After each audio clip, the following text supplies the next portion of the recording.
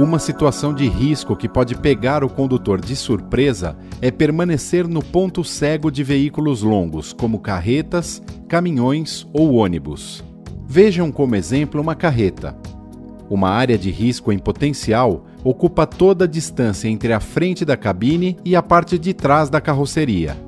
Ao realizar uma curva ou uma simples conversão, a carreta naturalmente ocupa o espaço lateral e qualquer veículo nessa posição de risco terá seu caminho bloqueado de maneira perigosa. Mantenha-se a uma distância segura dos veículos longos. Assim você poderá perceber com antecedência a intenção do motorista e evitar acidentes.